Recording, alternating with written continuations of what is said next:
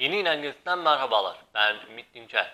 Bugün yeni bir ürün incelemesiyle birlikteyiz. Aslında bugün tamamıyla iki farklı ürünü kıyaslayacağız. Bugün sizlerle birlikte Logitech ailesinin G502 Lightspeed ve G502 Hero oyuncu faaliyetini sizlerle birlikte karşılaştıracağız. Bakalım özellikleri nedir, farklılıkları nedir ve ne gibi özelliklerle avantaj sağlıyor.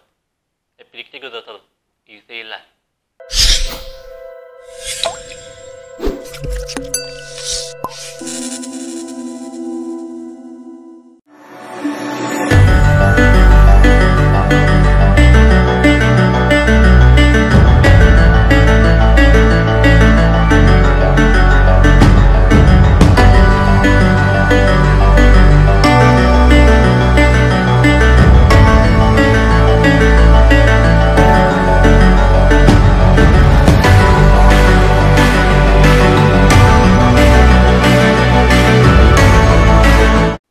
Aslında G502 serisine yabancı değiliz. 2014 yılı itibariyle Logitech G502 modelini duyurmuştu. Daha sonrasında revizyon değişikliğine giderek kendi sensörünü bulup Hero modeliyle birlikte yeniden ürünü piyasaya sürmüştü geçtiğimiz yıllarda. Yanımızda ise Logitech'in G502 serisinde ilk defa tasarladığı ve piyasaya sürdüğü kablosuz faresi bizleri karşılıyor Lightspeed. Bakalım bu ürünün birbirlerine kıyasla fark nedir? Hemen bir göz atalım. Bu arada Lightspeed'in hemen kutu içeriğine göz atalım.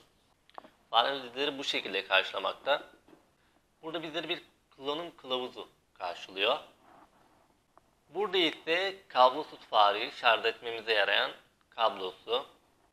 Burada ise bir broşür, bir adet sticker yani yapıştırma ve burada ise Logitech'in yine özel bir şekilde tasarladığı bir daha çok e, bu kutu içerisinde hem adaptör çeviricisi hem de bütün farenin ağırlıkları burada bulunuyor aynı zamanda.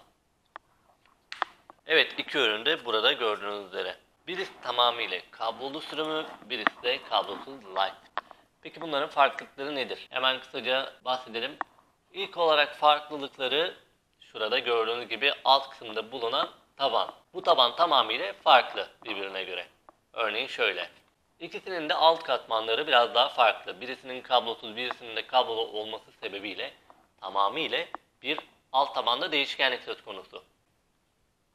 Kablosuz sürüme göre biraz daha farklılık göstermesi tabii ki mümkün haliyle ama çok fazla dikkat etmediğiniz sürece bunu anlamanız güç açıkçası. Çünkü hemen göz attığınızda burada bir kapakçık yer alıyor. Kapakçıkta plastik bir kapakçık. Ve burada gördüğünüz üzere kablosuz Lightspeed'in nano alıcısı bizleri karşılamaktaydı. Yani nano alıcısının izleme yuvası olduğunu söyleyebiliriz. Bu arada alt kapakçıkla ilgili önemli bir bilgi vereyim. Her ne kadar hafif, çok hafif bir şekilde bir plastik olsa da yatısı çok güçlü ve oldukça da sağlam bir şekilde yapışıyor. Gördüğünüz gibi. Oldukça güçlü bir şekilde mıknatısla kapatıyor kendini. Aynı zamanda farenin de şu kısımda kapama açma tuşu da bulunuyor. Şimdi ise ürünün bir noktasında da farklılık mevcut.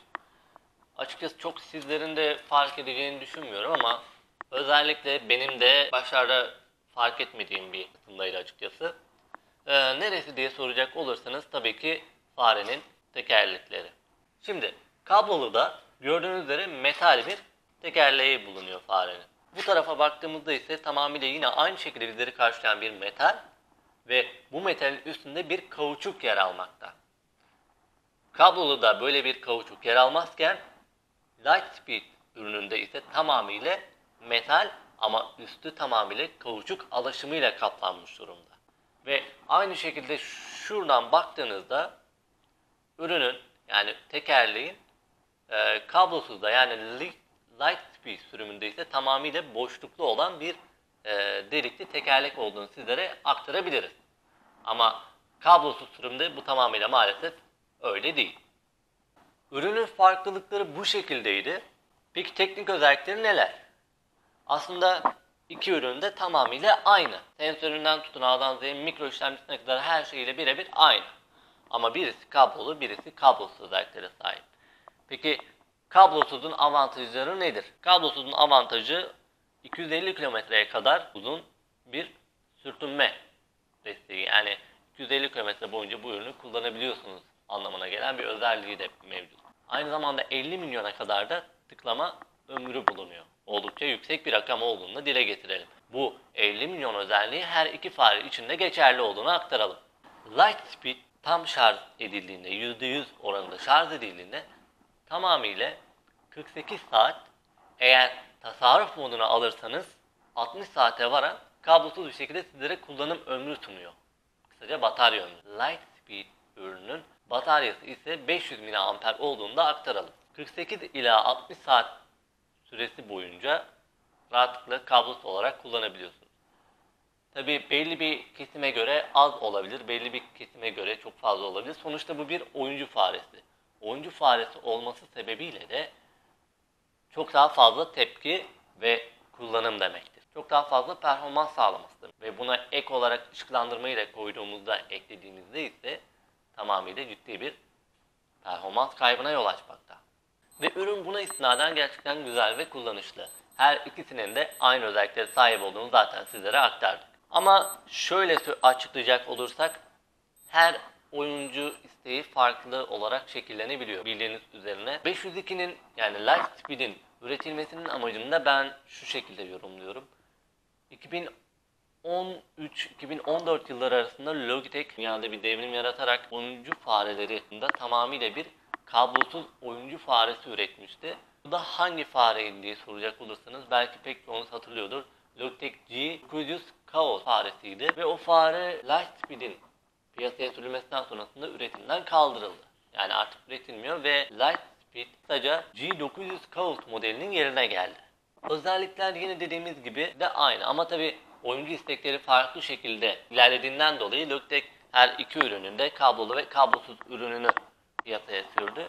Çünkü bazı oyuncular kablosuz istiyor, bazıları kablolu istemekte. Şahsen ben de kablolu oyuncular taraftarındayım diyebilirim. Ufak bir bilgi daha verelim Lightspeed ile ilgili. Logitech'in bir süre öncesinde yaklaşık bundan 2,5 yıl öncesinde piyasaya sürdüğü PowerPlay e, isimli mousepad ile o da yine aynı şekilde sağlam RGB ışıklı bir mousepad. Üzerinden tamamıyla mousepad'e koyduğunuzda herhangi bir kablo gerektirmeden mousepad üzerinden Lightspeed tamamıyla şarj oluyor. Kablosuz olarak. Yani tıpkı telefonlarda bulunan kablosuz şarj özelliği. Ve e, tabi PowerPlay ile kullan, kullanılması daha uygun hale geliyor. Yani daha olanaklı hale geliyor. Böylelikle hem kablo derdinden de kurtulmuş oluyorsunuz tabii ki. Evet, Logitech G502 Hero'nun 500 ila 650 lira arasında değişken bir fiyat etiketi. Logitech G502 Lightspeed modeli ise 1000 ila 1150 lira arasında değişken bir fiyat etiketine sahip. Her ikisinde Logitech Türkiye 2 yıl garantisi mevcut. Ürünler kıyasla güzel. Web sitemizde aynı zamanda gazetemizde bu iki ürünün hem iki farklı incelemesi ve yine yazılı olarak karşılaştırmasını bulabileceksiniz. Biz yeni inan gazetesi olarak her iki ürünü de çok beğendik ve sizlere, sizlere şiddetle öneriyoruz. Yeni bir ürün incelemesinde daha görüşmek üzere. Kendinize çok iyi bakın. Hoşçakalın. Bay bay.